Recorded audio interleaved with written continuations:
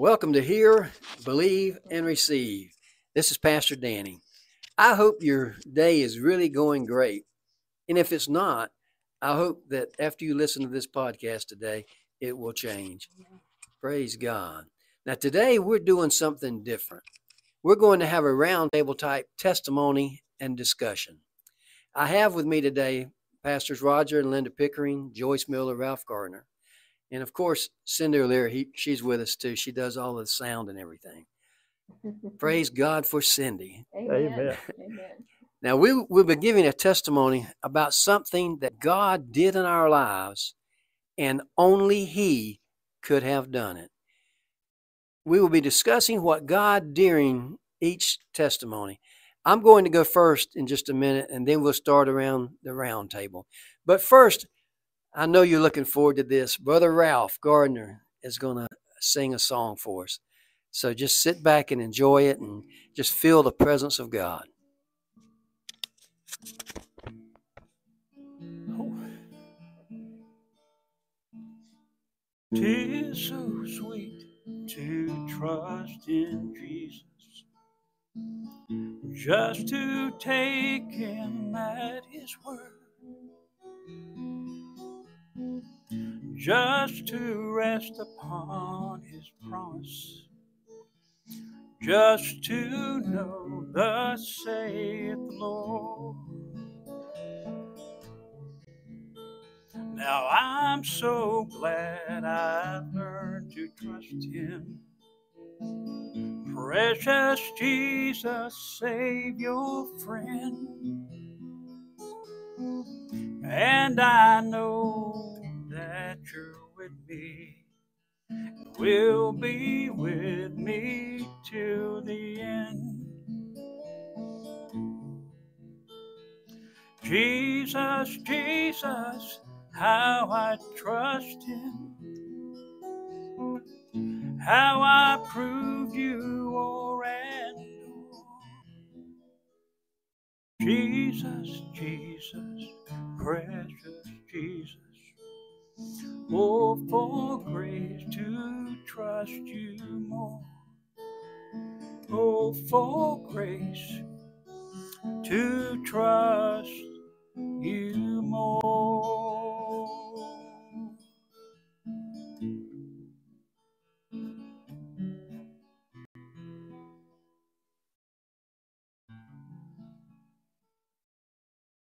Praise God. Praise God. Well, I'm going to start off today on a testimony. And I'm telling you, God has done a lot of things in my life, and I'm thankful for everything He's done for me and provided for me. Yeah. And my testimony of what God did that no one else could have done took place when I was about 12 years old, about the year 1960. And it's something that stuck with me all my life. And it made me realize that God does care he loves us and He can and will do something if you call out to Him. Now, our family was fishing off a pier close to where the St. Johns River flows into the Atlantic Ocean. Now, back in those days, there was no 911. If you had an emergency and, and no phones that carried, you know, that you didn't have uh, phones you carried around in your pocket to help you. But that afternoon, I learned there was someone you could call on night or day, whether there is a phone close by or not, one that can do what needs to be done, whether you are close to a hospital or not. 911 or no 911, he can do it.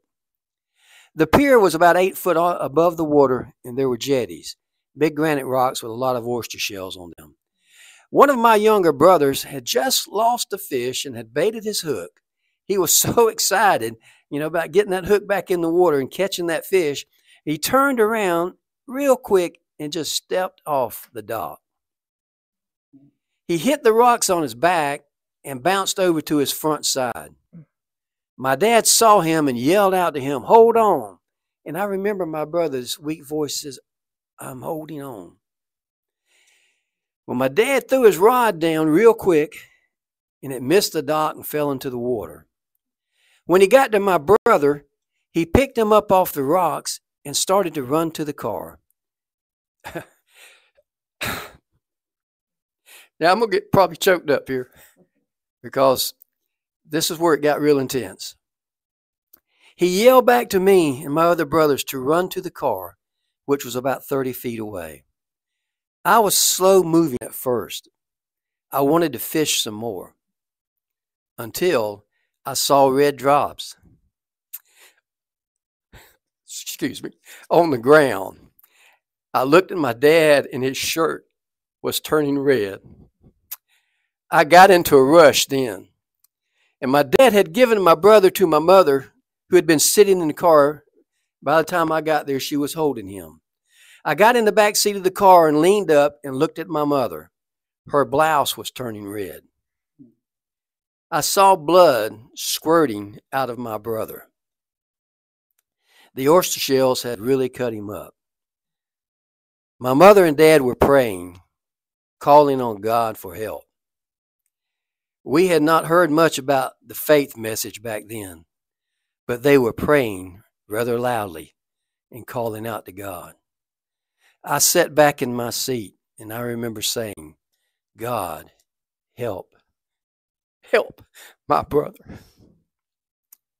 I quickly raised back up and I looked over the seat at my brother.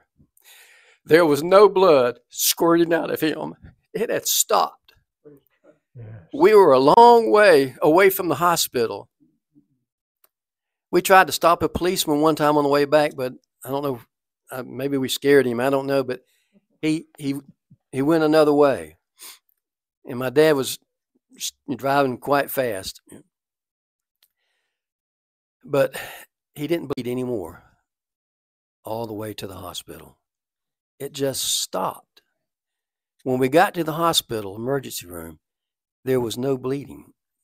It had all dried up. They took care of him and he spent a few days in the hospital. They told us that there were over 100 stitches in his face, upper body, and legs. I can remember only one scar that was the one on his face that I saw the blood squirting out of.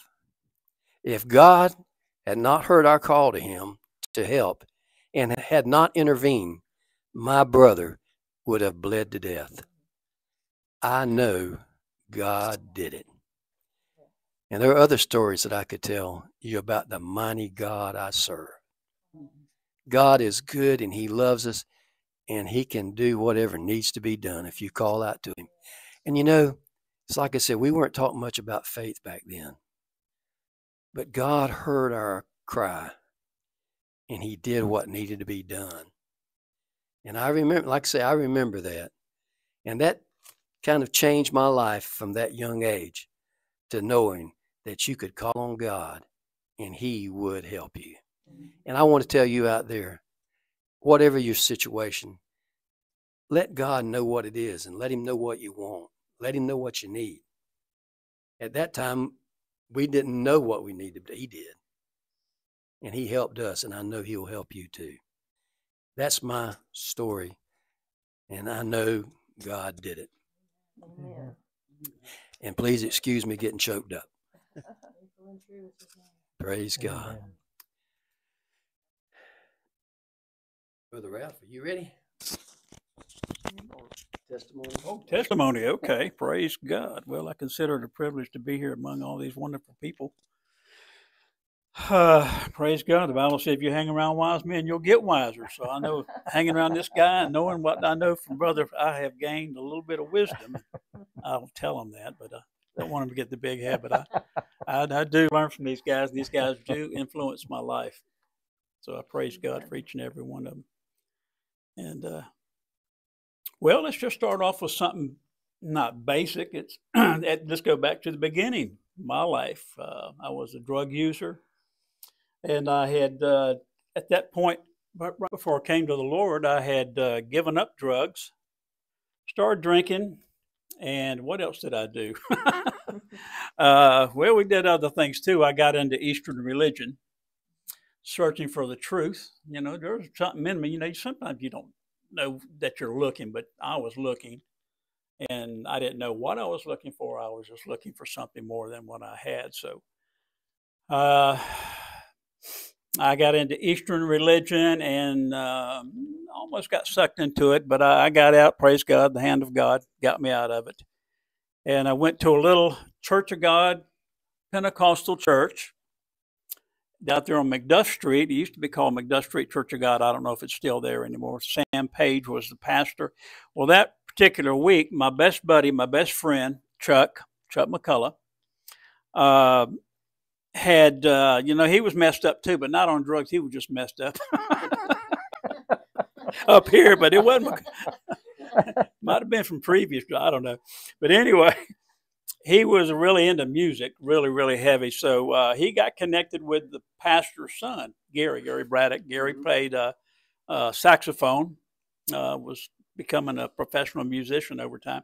So he got connected with him, and so they played together and talked. And so he got the, found out that Gary was a preacher's son, and he uh, got the talk. Says, "Man, I need help. I don't know. I'm just kind of messed up. I don't know what I want. I don't know. You know." He said, "You need to talk to my dad."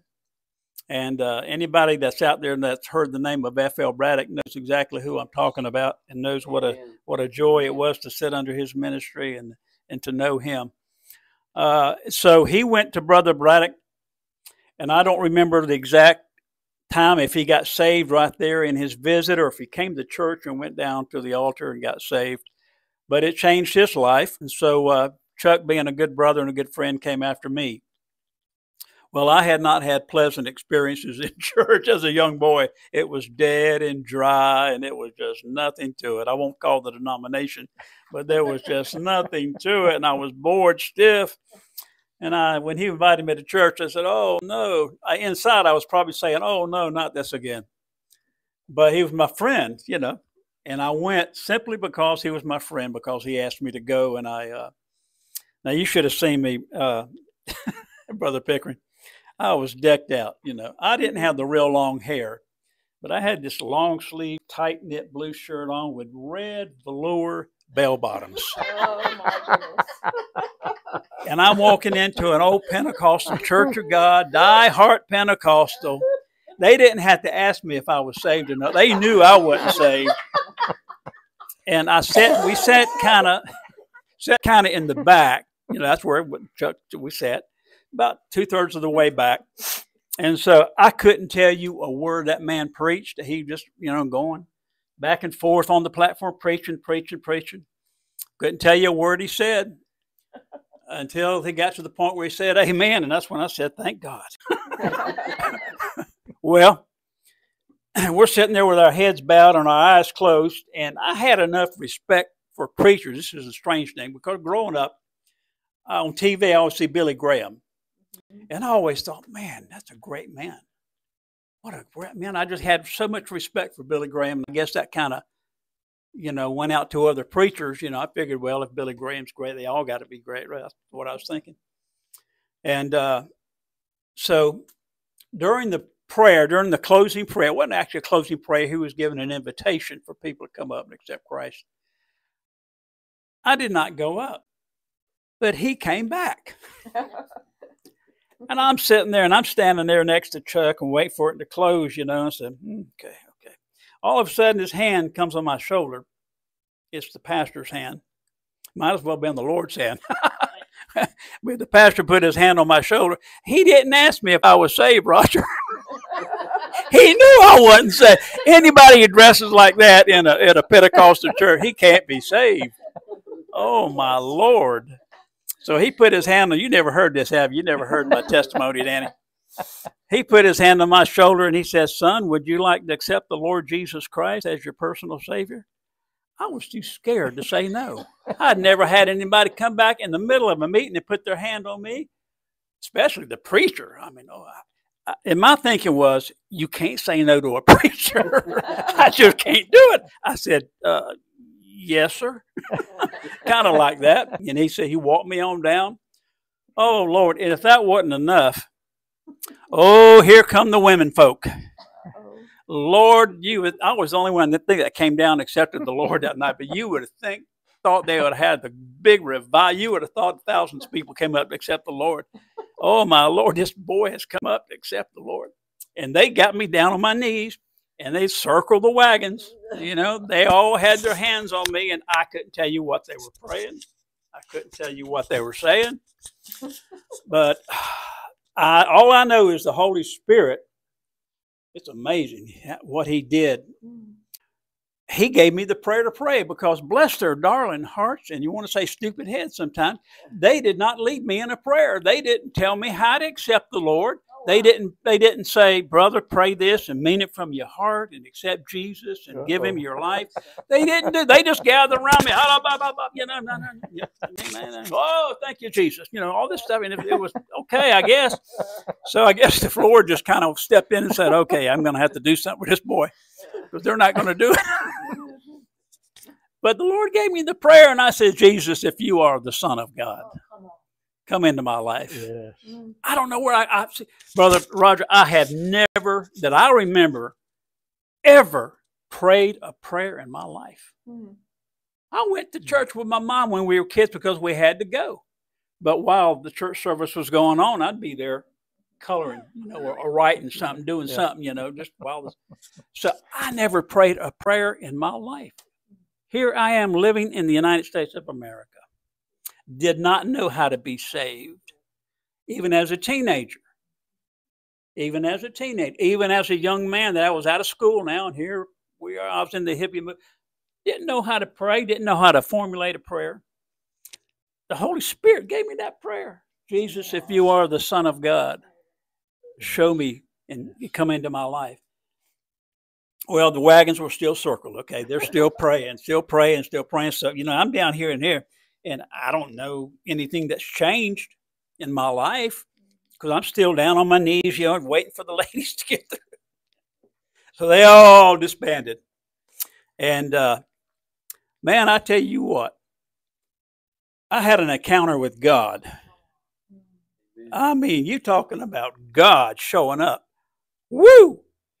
I stood up and I just started standing there and I, I didn't know what to do. I just I started looking at my hands. I started, wow, something's different. Something's different. I, I, felt so clean inside for the first time in my life. I felt like there was like this cloud that was on me, in me, over me, you know, and the cloud just lifted. And I felt such a cleansing. And I just stood there and looked at myself. I said, wow, something's happened here. Something's happened. Praise God. I had an encounter with God and he supernaturally changed my life. That was in 19 November, December of 72, right before Christmas of 72. We were down there during that revival time, and uh, it just changed my life. And that's when I knew at that moment that God was real, and He was really real. And He manifested Himself to me. I didn't see anything or hear voices. His presence just like enveloped me you know, you've heard Brother Hagin talk about the cloud coming on him and envelop. It just kind of enveloped. I was just enveloped in the in the presence of mm-hmm. God, mm-hmm. and my life was drastically changed, Brother Danny. And that's been seventy-two to twenty-four. What are we about fifty-two mm-hmm. years? I'm 52 years on the Lord, and I want to tell everybody out there that's listening, or everybody that will listening, I have never regretted a day of it. Amen. I have never wanted Amen. to look back. This life is so wonderful in Jesus. If you really get to know Him now, if you're not all in, okay, you need to get all in and get totally surrendered to the Lord and uh, just commit 100% like you do your marriage, like you do your job, like, you know, just be 100% totally for Jesus. And that's when Jesus becomes real in your life. And that's when you're going to say, oh man, praise God, no matter what I go through, it's worth it all. I'm never going to look back. I don't want to look back. I don't want to go back to that old person that I was. Praise God. And not only have, have I got a great life, I've got a great family, a great wife. Praise God, who loves God. And praise God. And not only that, I got great brothers and sisters. I'm telling you what, I was writing down the other day. I hope I'm not going too long. If I am, well, just hang in there. I got a piece of paper out the other day, and I, I just wrote, I said, I'm going to write every benefit down for being a Christian. Hmm.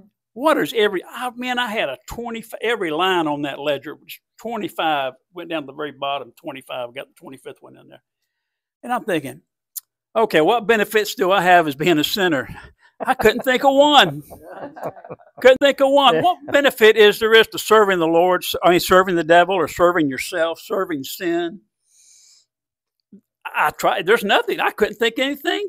Being miserable. Being miserable. Oh yeah, who wants that?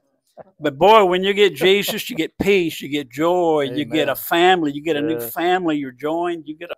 Oh my gosh, that list goes on and on and on. The love of God comes into your. Oh my goodness. Well, it just goes on and on. I just want to, just wanted to share that and say, thank God. If you don't know Jesus, make Him your Lord today. You don't know what you're missing, regardless of what you've seen in other people, hypocrites, bad preachers, or whatever the case may be. Jesus will never let you down. Praise God. Amen. Pray. He's the real deal. Praise God. I got out of the Air Force in 1971, and I went to the same church that Ralph did. And uh, I got to see a lot of those uh, young men come in and uh, saw what God did in their lives. And that out of that group of people, I think we figured out one time there's like 30 something people in in in ministry of some sort. Uh, uh, but God can make a change in your life if you just let Him and trust Him. Praise God. Anybody else got anything to say about that one? Amen. Amen. Yes, that's that's a an good amen. thing. Amen. Yes. Amen. Amen. Brother Roger, we're going to go ahead and let you get started. And, and uh, if- if you got more than than one, we'll do that on the next podcast. Okay. So go All right. ahead, brother. Just All right. have your freedom. Well, thank you, Pastor Danny. Um, as I was preparing for this, I, I got to thinking that there perhaps were some people who would be listening to this who might be wondering what God wants of them in their lives. Amen. And uh, the, it's a question that comes to every person who's born again. What does God want out of my life? What does He want me to do? And so I thought I'd share uh, the call of God on my life, and perhaps that would be uh, something of help to those who are listening to these podcasts. But um, I was born into a Christian home. My father was a Methodist minister and uh, he uh, uh, moved to Florida when I was about three years old, and we've been in Florida ever since. And uh, traveled all over, moved from one place to another in in uh, Florida, from the top of Florida to the south of Florida to the middle of Florida and uh, everywhere else. But uh, we'd stay about three or four years, five years in one particular uh, church, and then we'd move to another town. The Methodist Conference would control where a minister was to be settled and where he'd be ministering. But uh, so I grew up in in that kind of home, that kind of setting, and uh, while I had good parents, loved my parents, um, I did not want to be in the ministry. had no desire. I saw how my dad was treated by many, some within the church, some outside the church some within the community.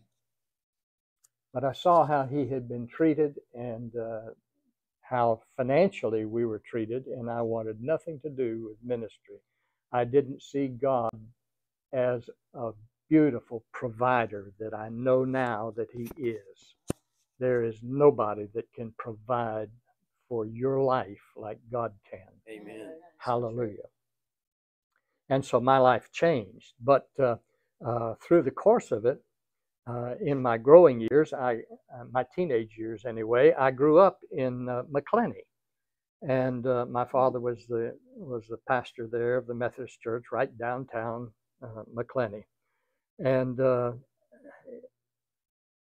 as I as I finished school there, uh, the church had moved him to Jacksonville, Florida, and I remained there my final year. I lived with a, a family that uh, was a part of the church. I stayed there so I could graduate from uh, Baker County High School. And uh, then I came into Jacksonville where my father had been transferred as the minister. And uh, it wasn't long after that, just a few years, where uh, he was transferred down to Central Florida to a town called Eustis. Well, I uh, went ahead with some of my college work and uh, uh, obtained a job, got into the insurance business. Uh, actually, I started out in the mailroom, but then I became an underwriter with one of the insurance companies and uh, started traveling down to Eustis to visit my family. Um, and I met this wonderful girl down there who became my wife. And uh, Amen, that in itself is just a beautiful story. It's, uh, it's one in which I met her as I'd travel down on the weekends to visit with family and go to church. I met her in one of the Sunday school classes for young adults and um, saw her one day. My mother was an invalid.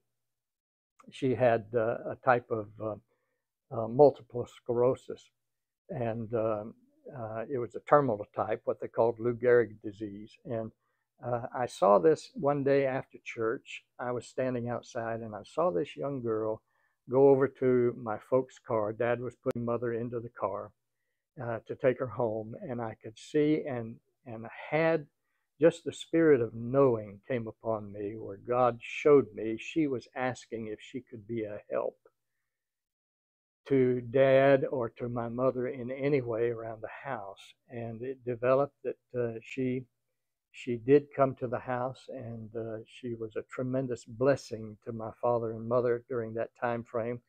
Um, my mother died a couple of years after that, but in the meantime, this lovely little girl, uh, God pointed her out to me when she was standing at the car, showed me exactly what she was doing. So I had the word of the word of knowledge come to me. First time I ever understood the word of knowledge. I didn't really understand it then, but first time it operated in my life that I remembered. And he also told me when I saw her, he says, She's going to be your wife. Well, uh, I told my sister, she had been visiting with me. We lived uh, in Jacksonville, my sister and brother and I.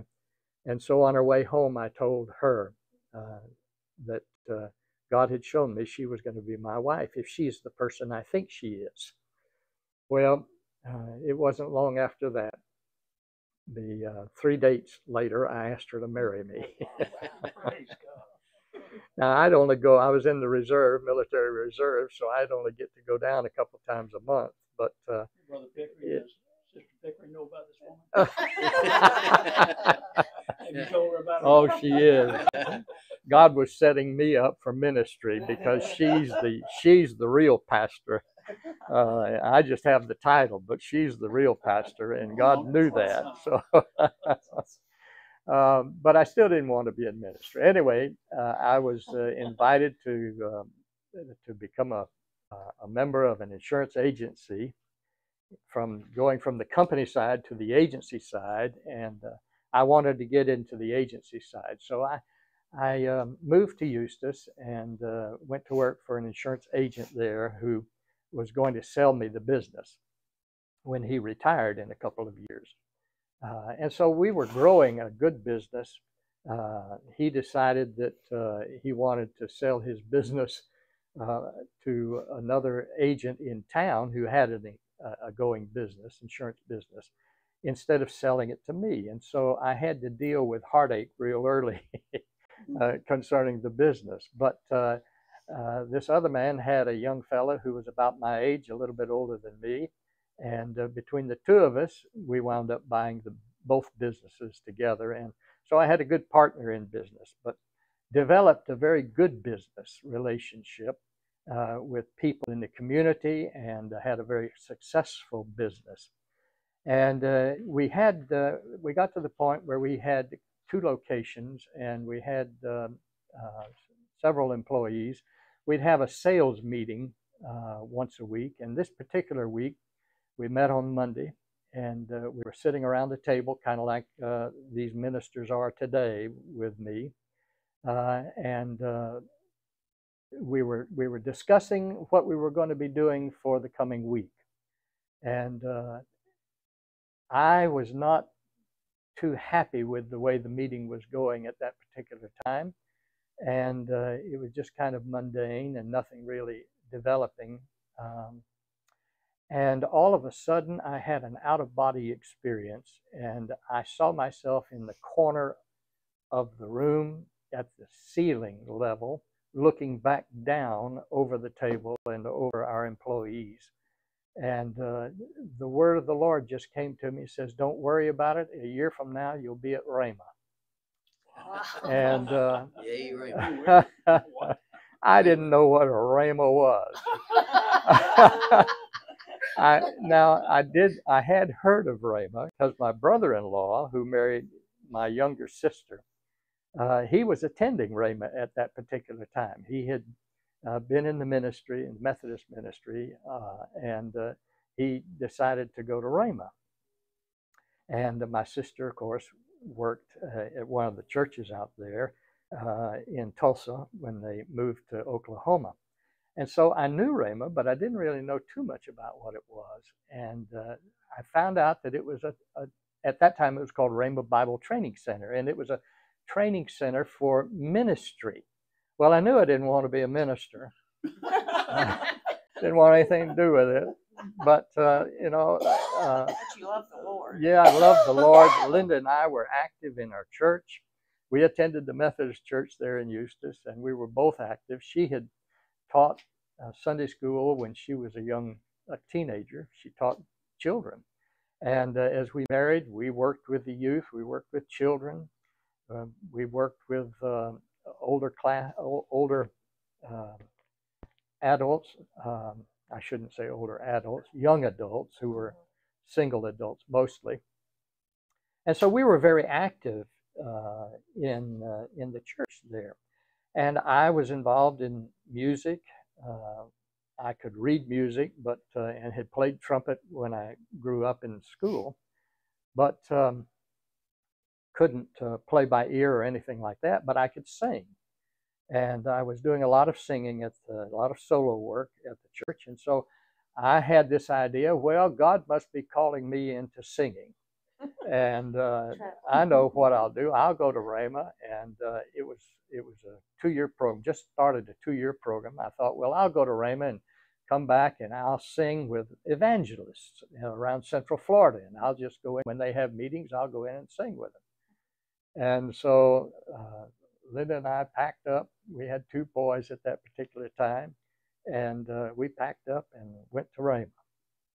Well, you get to a school like Rhema, it's a wonderful experience, but there's a lot of peer pressure. Amen. Everybody's asking, What's your calling? Amen. Well, what's your calling? Yeah. What does God want you to do? Well, I didn't know.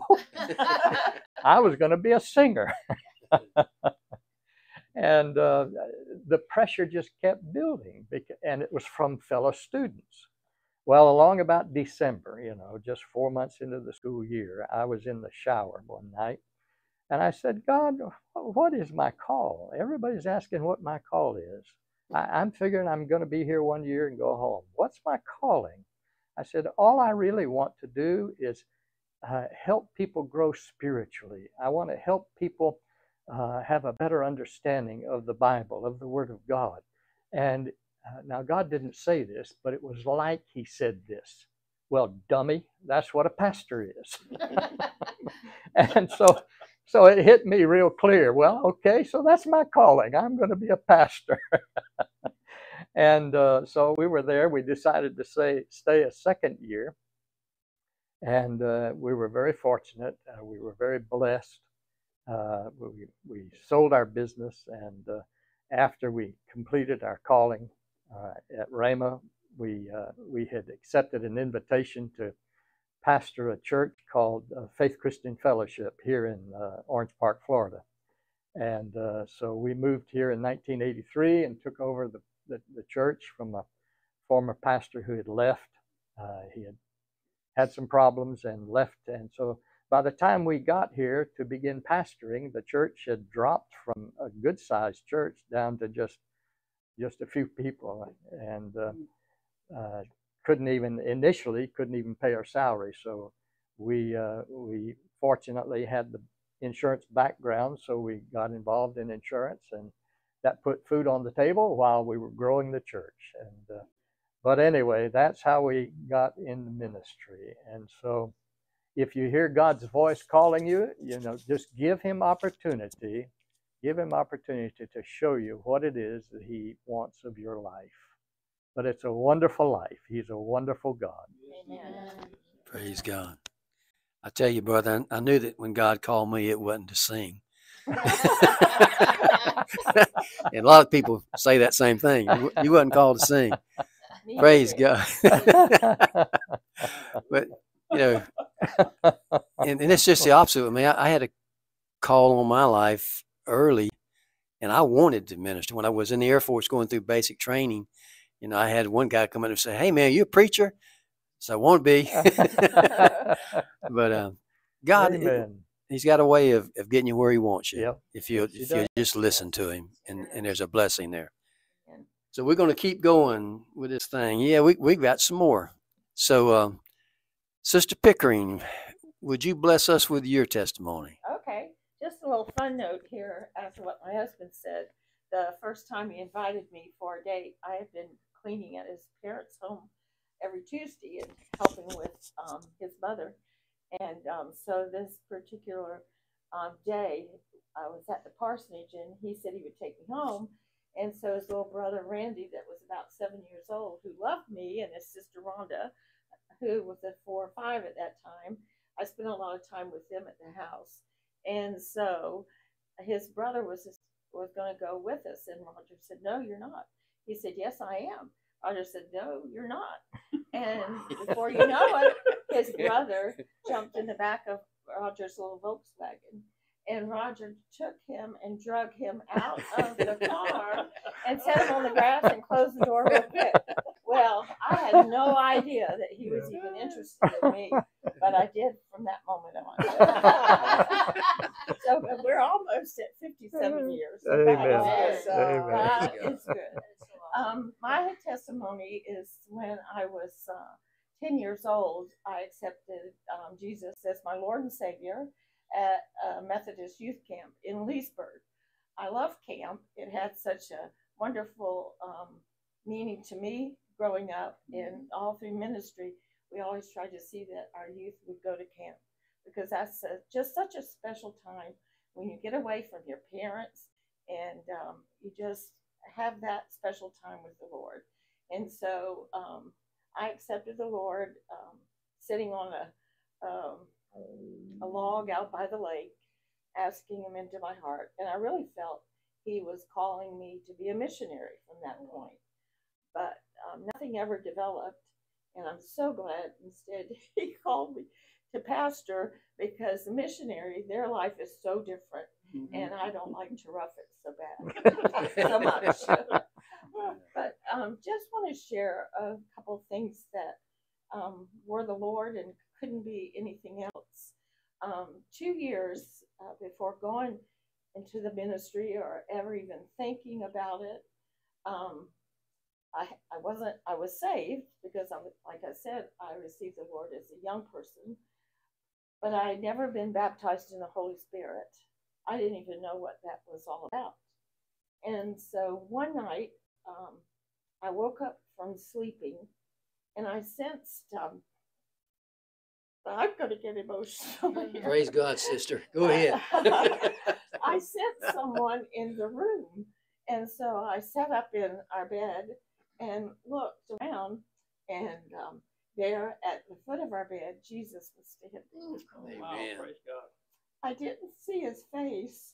I just saw this amazing bright light in his robe. And ever so gently and softly, he spoke to me and he said, I'm calling you and Roger into the ministry. Praise God. Praise And- God. and then he was gone. you know, I was overcome by all of it. Um, I just laid down and um, I pondered over it until I, I finally fell back to sleep, not really understanding what it was all about. And for some reason, I don't know why, but I didn't share it with Roger. I didn't wake him up, I didn't share it with him until two years later when he started sharing with me that he felt a call into the ministry. And so it was then that I shared him. The Lord knows I'm a person that has to kind of think and meditate, not have stuff just sprung on me. Amen. I have to think, meditate, pray about it before I'm I'm sure of it. And so I had those two years to think about it. You know, many people only have one visitation from God in their whole life and and never have another one. You know, in a visitation, God wants to show show you something or reveal to you something um, concerning your life.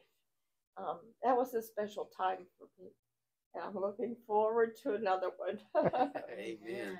in this, um, Roger has shared a little bit about our move to um, Oklahoma and going into the ministry. And in the summer of 1981, we were getting ready to move to Oklahoma so that Roger could go to Rhema. And um, we were downsizing, we were getting rid of a lot of stuff. Um, we were thinking about either renting our home or selling it. And um, we hadn't lived there long. We had just moved to, to a lovely home on a lake. I'd always wanted to live there as a child. And um, so we were um, downsizing. Um, we decided we had to sell, if you can believe it or not, Danny, my husband's little green sports car Oh, that he had gotten and only had a little over a year. We decided that wouldn't be very good, a very good family car out at Rhema. And so um, he sold that, and we were actually given another family car that was just a couple years old, and it was going to be our second car out there. But I was kind of feeling a little down instead of excited about the great adventure that we were about to go on.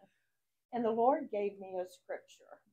And uh, first time he had ever given me a scripture, and I have it in my Bible, and I often go back and read it. And I want to share it with you who are listening today. It's Mark chapter 10, verses 29 and 30. And Jesus is talking here, and he says, Verily I say unto you that there is no man that has left house or brothers or sisters or fathers or mothers or wife or children for my sake in the gospels, but he shall receive a hundredfold now in this time, the time that we're living in, houses, brothers, sisters, mothers, children, lands. Hmm. This part I like to leave out. With persecutions in the world to come, eternal life. we have a few he, of those. he did. He did all that for us, and he has. Uh, he provided a great job for me in Oklahoma. We prayed before we left. Um, uh, where were we? Eustis. Eustis. before we left Eustis or Central Florida, I remember us praying in bed one night. We wanted our children to go to a Christian school um, that was a part of Buddy Harrison Ministries, and um, we knew about that through through our through my sister-in-law, and we prayed that um, I would have a job there at the church so I could be close to the kids and bring them home and so forth. So we agreed and prayed for a job. And when I went, um, right away, I went and applied for a job. And they first offered me a job as a bus driver for the school. And I said, I don't know how to drive a bus. and I don't hardly know where I am here in Oklahoma, so it wouldn't be very good. So then, if I remember right, they said, We are looking for a receptionist. I said, Oh, I'd love to do that. And um, so they hired me right away. And it was a large church. Buddy Harrison Ministry at that time was large. There was, I don't know, 800 to 1,000 people in the church. Well, why didn't they have that job? Well, it's because God supernaturally saved it for me. Right. And um, it, it was awesome. And I only worked at God. that position for about two weeks. And um, a new position came available. It was administrative um, secretary assistant to Buddy Harrison and Bob Lemon. Wow. And so uh, I told my husband, I said, I feel like God wants me to have that job. That's my job. And he says, Well, if it, if it is, he'll promote you. You don't have to go looking for it. Um, it'll all come about. So he kind of waits more and things like that. and I kind of like to charge on and things like that.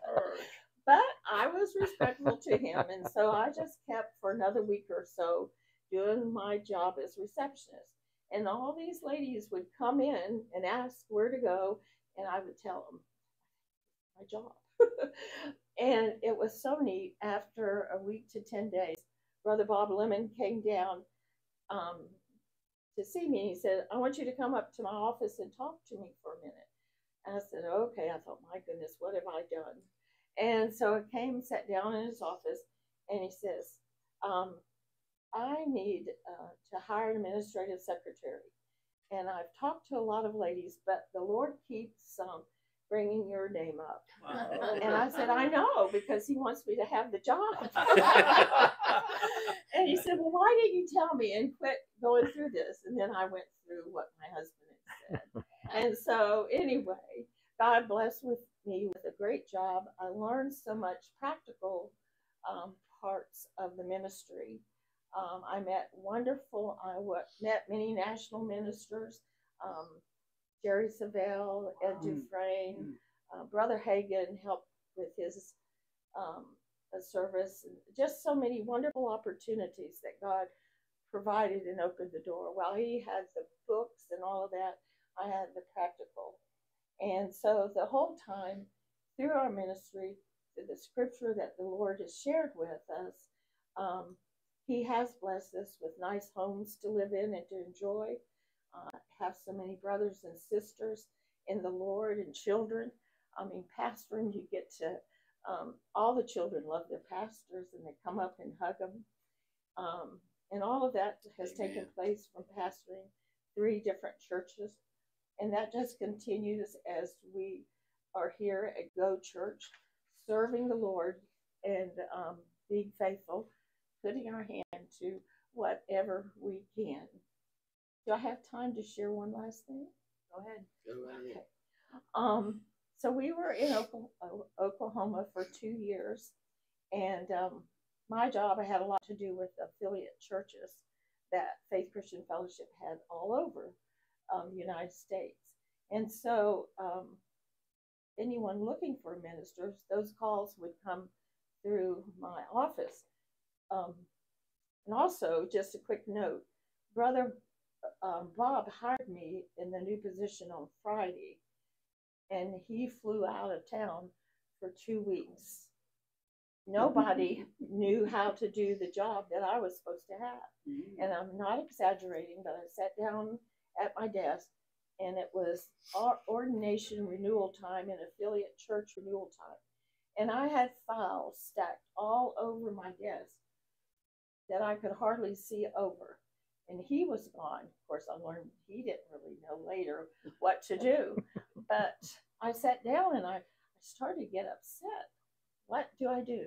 And the Lord said, Take one file and open it, and I'll show you what to do. And so he led me through Wow. that. And it took a long time, but I got through the files. And so he supernaturally showed it. And we just listen, he'll show and direct and number our steps. But this phone call came through, and I never wanted to use my office, um, my job there in the office in the wrong way. But but I got a call from this individual in Orange Park. Look, and he said, "We're looking for a pastor. We're at Faith Christian Fellowship. Our pastor has resigned, and we need a new one."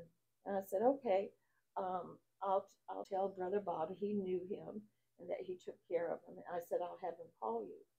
And so Bob was in the office that day, and I went in and well, I first went home and told Roger about it, and so I guess it was the next day. I went in the office and um, told Bob that he needed to call this individual, and um, I said, I really feel that he um, they that it's right for Roger and I to go and um, try out. That was the term they used. Try out for that ministry. Okay, but I don't want to lose you. uh, we had a good relationship, he and his wife, Mary Bell. So um, he arranged it, and they arranged for us to come down to Orange Park. We were from Central Florida. We really felt like we'd be in Oklahoma maybe another year or so. Roger had an opportunity to continue working with Buddy Harrison's ministry, but we felt that we should go. And so on the airplane, um, I was all excited. I tend to get more excited. He's more laid back. And so I got excited. We were reading some kind of um, literature or something. and he was probably trying to study, and I was talking 90 miles an hour.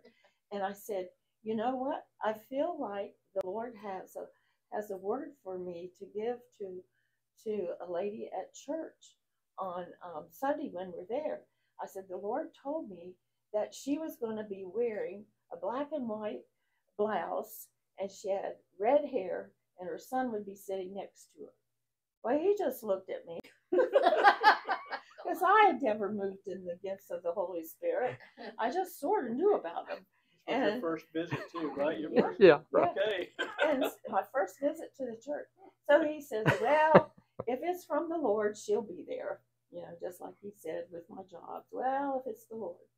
And so um, I, I didn't think a whole lot more about it. So Sunday morning came and they introduced us um, to the church. They brought us up front. And lo and behold, two rows in front of me was this woman in a black and white striped blouse with red hair and her son sitting there. And I thought to myself, what on earth are you doing here? you know, why'd you come today? you know, I'm just being honest. I was scared. and so I just smiled at her and then we sat down. and I didn't say anything. And um, the next thing, I had another opportunity um, to come up uh, when Roger was getting ready to minister. They wanted me to come up and say something. And I was hoping by that time she had left early, but she hadn't. She was still there. I still didn't say anything. You know, God gives you many chances, many opportunities to be obedient to Him. At least that's how He's worked in my life. And so finally, it was time for us to go and to close down the service. And I'd been sitting back in my seat. And I said, Lord, if you just give me one more chance, I'll do it. And so it was the end of the service, and I looked at her. We were up there, and um, I said, The Lord has a word for you today. He, he shared it with me on the airplane. And I'd just like to tell you that the Lord said um, for you and your son to go back home to your husband, that everything was being okay, and that he was going to restore your family. And she said, My son, I was going to take my son and leave and divorce my husband. I came to church to hear from the Lord today. Oh, praise so God. it was life changing. That's amazing. And um, he restored their marriage. And um, it was an exciting time to see God move. And, About to uh, make me cry again. That's amazing. That's. And coming from an outsider, that probably meant Yeah. more to her. Yeah, than it did. Pastor Oh, would yeah. said something. Who- Who knew all the, because I didn't know anything about her. yeah, exactly. And so we just have to be sensitive to the Holy Spirit. Um, you know when it's really Him and when it's not. Praise awesome. God. That's That's awesome awesome. testimonies. Been there and that on both, You know. both counts. The time it was the Lord, the time it wasn't the Lord. Yeah, Praise God. yeah, Those were good testimonies. And God can lead you if you'll just let Him. And, and like Sister Pickering said, uh, He'll give you more than one chance. he'll just, He wants to bless you. Sister Joyce, I know you've got something good also. Praise God, praise God. Thank you for the opportunity to share. And and I had two two things when you mentioned the other day and invited me to this meeting. Two things immediately popped up in my spirit. So uh, so those two things is what I'm going to share. And of course, I have numbers of things that I could share. Amen. Amen. But it really, really goes back when you start looking back over your life, seeing how the Holy Ghost has led you. Because when I prayed the sinner's prayer, I didn't, I, I'm, I didn't really know the words to pray. But I remember this particular night. It was a traumatic time in our family's life. I was 16 years old, co- coming home from the hospital with my dad. And I knew in my heart, I said, you know, there has to be more to life than what I've seen. Now, this is a 16 year old. But I said, I want truth more than Amen. anything else. Amen. I said, I don't want to wake up when I'm 50 years old and not know what this life is about. And so I cried out for the spirit of truth And I, I probably, I don't remember exactly what I said, but anyway, God took it from there. That was just a heart cry. And that's one of the things that I've learned over the years. He hears a heart That's right. Yes, he does. and um, if you be sincere Yes. and, and, and, and go to him as a father because he does love you no matter what you've ever done. I was a 16 year old girl. I was a i was a good kid. I was the oldest of five but i wanted truth. And it, god seemed to i oftentimes i look back at uh, that my life was like one of those old ping pong machines that you, a pinball machines you pull it and you and this lever over here would, you know, slap you and you would go Mhm. higher and higher and higher. It's like God put people in my path that uh, increased me, you know. And so I was just so grateful for these people. And each one, it's just like he knew exactly what I needed when I needed it, just like the daddy does. Mhm. And so, you know, I uh, I asked, you know, the Lord to come into my life. My um, younger brothers and sisters got saved too shortly after that. Uh, we all gave our life to the Lord, but that was the pivoting point. And then it was like life seemed to, I mean, God was increasing me, but there was something missing.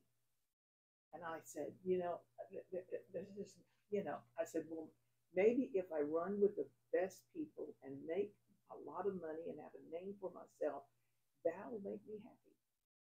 And I I did I accomplished a lot of things prior to my 21st birthday. Hmm. I was on I was on billboards in major airports in Time Magazine, Washington Post, um, you know, um, you know, uh, new- uh, everywhere. Um, working for a major airline, advertising, dating a professional basketball player. I was empty as the, you know, as anybody could be. But again, God had still was honoring that heart's cry of that 16 year old that she wanted truth. And so I said, maybe marriage is it. And so I married my best friend.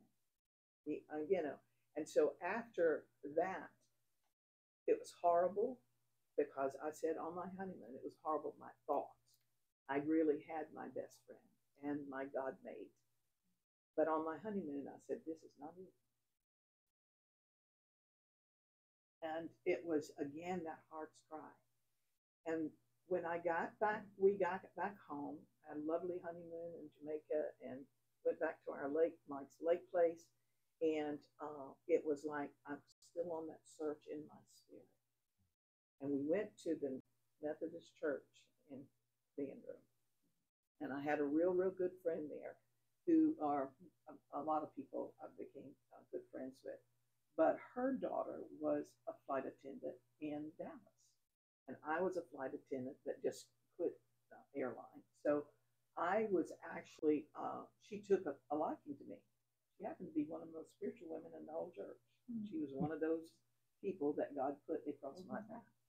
Anyway, her she was married to a doctor. She actually went, uh, was leaving, and the pastor asked her, Dottie, you can do anything you want.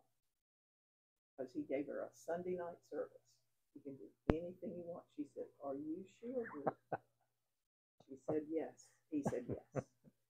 So she invited all of these, it was, you know, uh, major uh, players in the in the spiritual realm. Uh, this uh, Christian businessman was big back then, et cetera, et cetera. Anyway, that before the night was over, uh, his eye was filled with the Holy Spirit, Praise Praise with the God. evidence of Praise speaking God. in tongues, Yeah. with a Methodist minister's hand on my shoulder, his face wet with tears. Had no clue what was going on.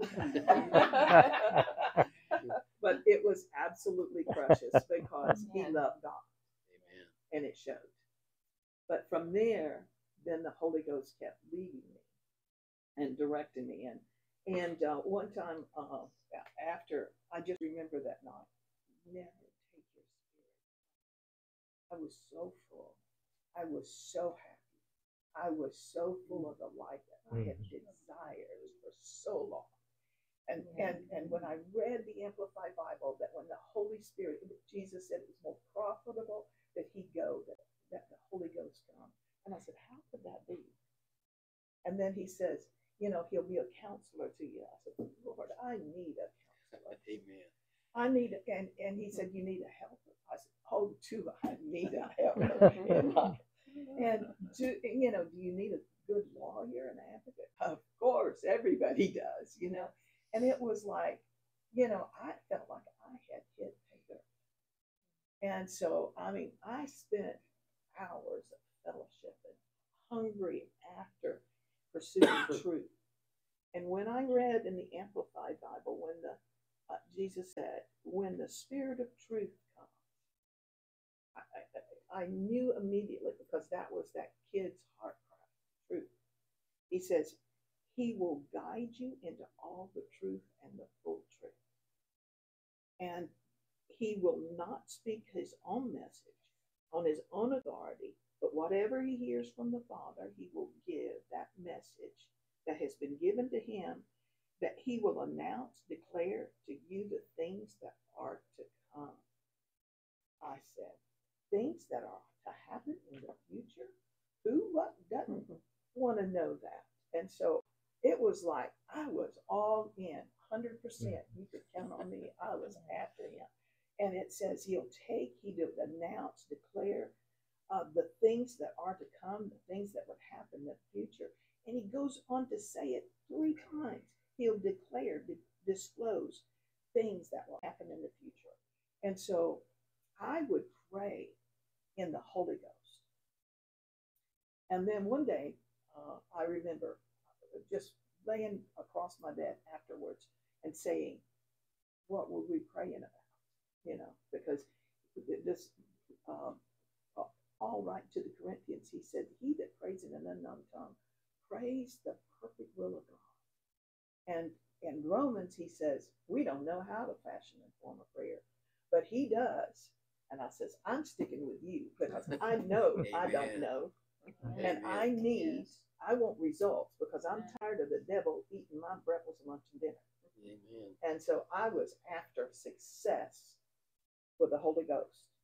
And it was like, he, he, sometimes I think he treats me like somebody would treat a bloodhound. He'll put little crumbs out there. Mm-hmm. And it's like, I'll go after him because I mm-hmm. can smell him. I can, you know, and he, he, he baits me is really what he does. he baits me because he knows I'll follow. and so uh, this one day I was laying across the bed after we, I prayed for hours in the Holy Ghost. You know, you go through the routine of praying for your nation and those in authority because he said pray for those in authority. And then your family, et cetera, et cetera. And then we just, it was like we were on a surfboard. And I remember Suzette Hattingh, uh, she was one of our mentors in prayer. And when she first came to um, America, she taught us that prayer with the Holy Ghost is like surfing. That you get on that surfboard and you just start praying in the natural, you just sort of go out until you get up, get Just away. away. The Holy Ghost will take hold together with you, and you got you just ride that wave to shore. And so I rode that wave to shore that day, and they, I I was just sort of spent. And I laid across that bed and I said, Lord, what were we praying? Who were we praying for? What what was going on there? And I heard just as clear as a bell the word Arba. I said, Well, who's Arba? And so nothing. Anyway, so what happened is that I, I went downstairs. I looked at dictionary, Arbo. I didn't have a smartphone at that time. But anyway, um, you know, I looked in concordance to find out. I said, there's arbor and there's all kind of other things there, but there's no arbo. So anyway, so this was a long time ago, oh, quite a ways back. But uh, I went on a mission trip about six months later. And what had happened is I had written Arbo on an index card. Each day when I put my makeup on, I'd pray, lay my hands on Arbo and pray for Arbo. I'd pray in my understanding and I'd pray in the spirit. Anyway, I went to the Philippines with a friend of mine going to, uh, on a mission trip, prayer conference. Taught in the prayer conference, had a great time. I said, since we're halfway around the world, I want to go to Paul Yonggi Cho's church. 500,000 members at that time. Yeah. So since we're halfway there, we might as well. It was really a little bit longer than what I expected. But anyway, we we go, and um, and we you know the church was not in session, but they showed us around, and it was great to see this church that was changing the world. This pastor was changing the world with prayer. And so I um, we got on a bus. They said there was a bus that goes to Prayer Mountain because that was my number one target was of going is to go to Prayer Mountain. So I went to uh, got we got on the bus. Didn't realize there was a there's a big huge city bus with not not city bus, it was church bus. Nice bus. It left every 30 minutes around the clock. That's how many people go into Prayer Mountain. I got up there, I thought it's maybe it would be a good crowd, you know, maybe 100, 200 people up there. Close to 5,000 Mhm. people up there. And so here we are, just everybody, you know, most of them Korean, worshiping God and, and listening to all of this. And, and then all of a sudden, you know, a while we go out and just sort of sightsee.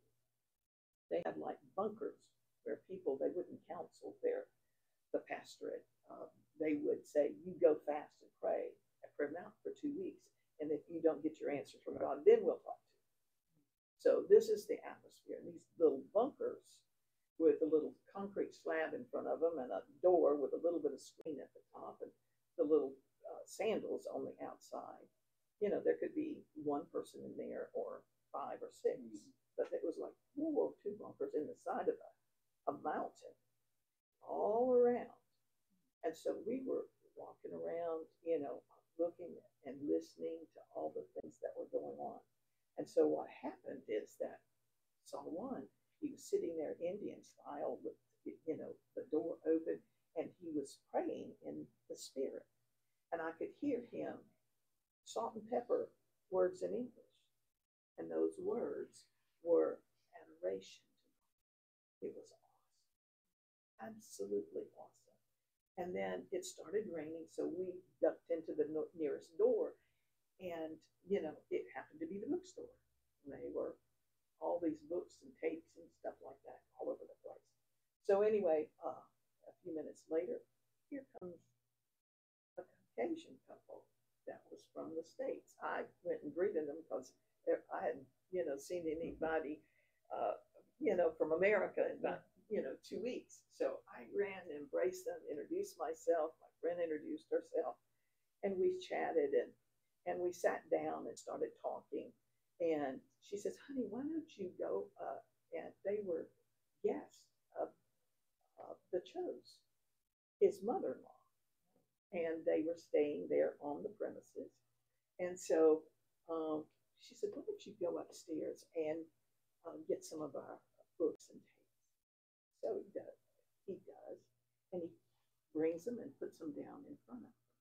And I look at their picture and then I look at the he turned them over to the backside. There was their picture and their name on the bottom. You know what the name of the Arbos.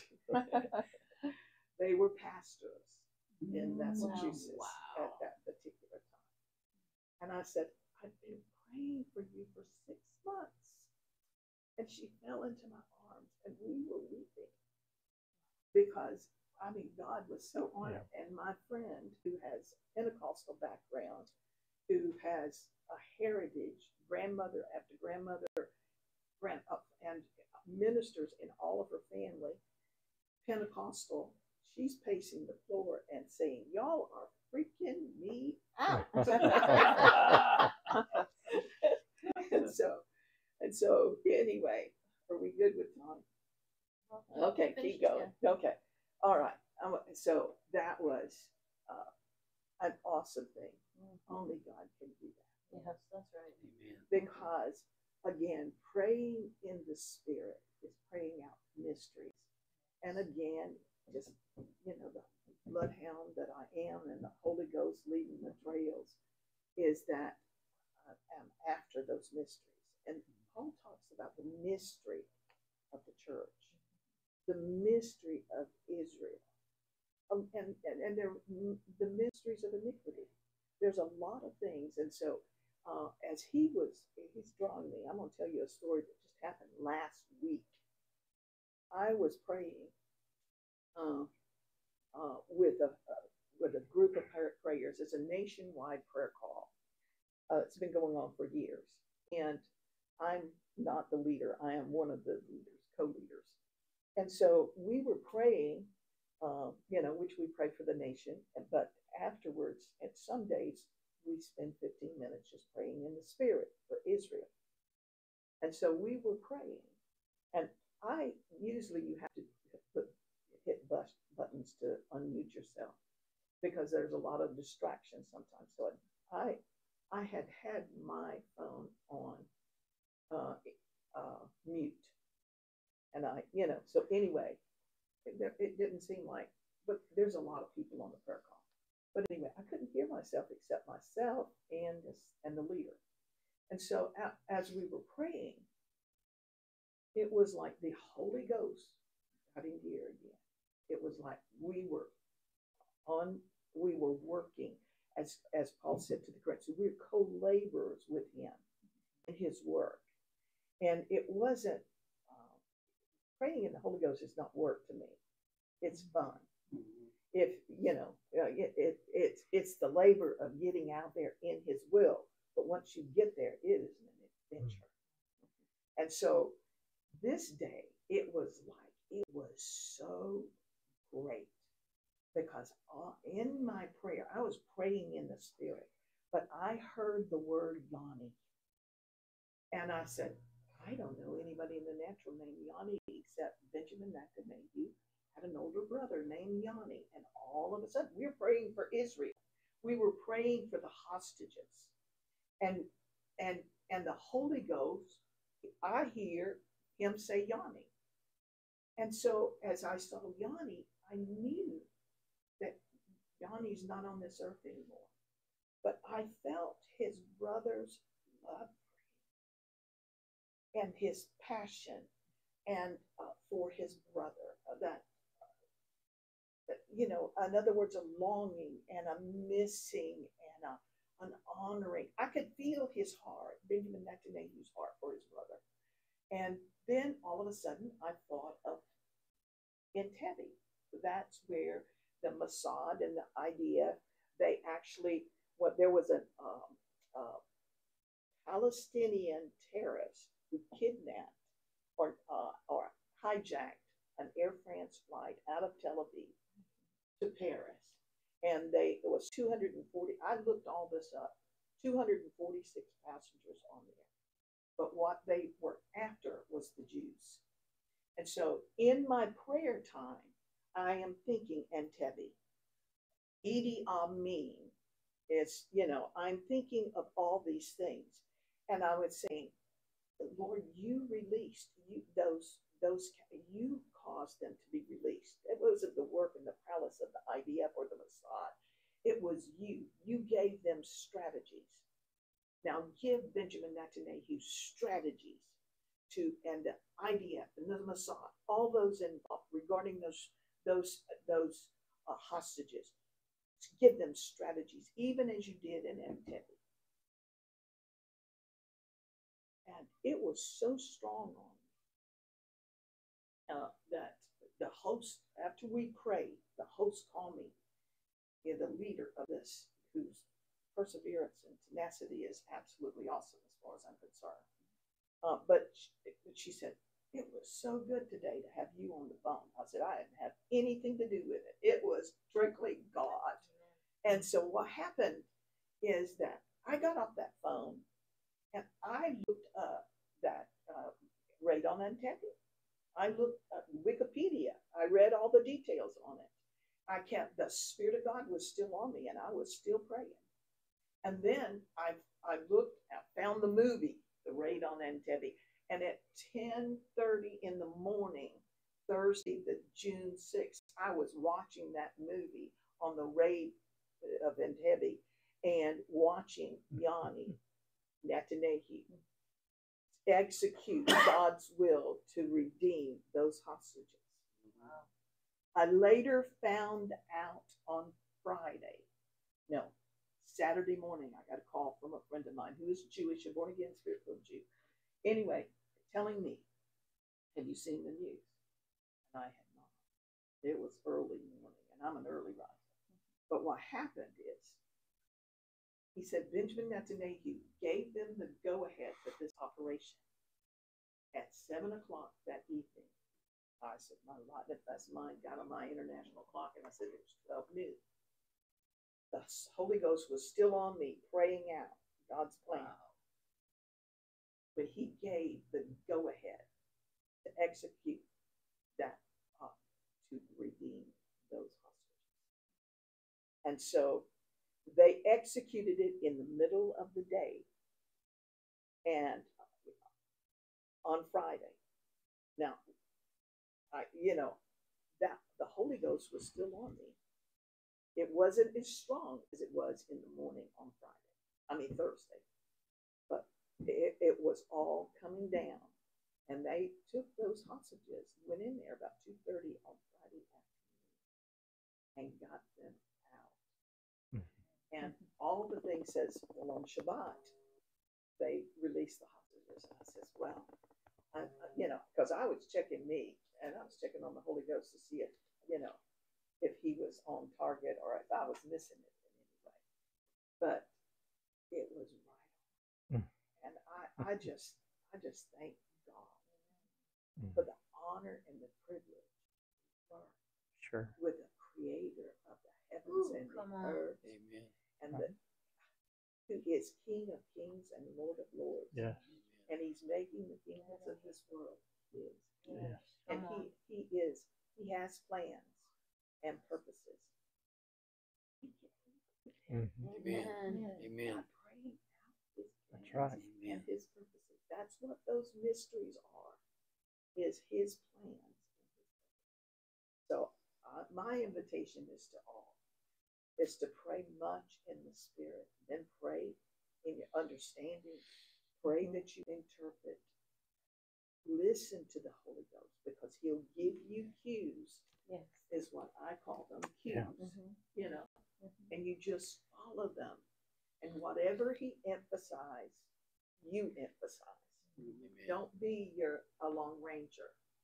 Just work with him because he's the coach, he's the guide, he's the lawyer, he's the he's the helper.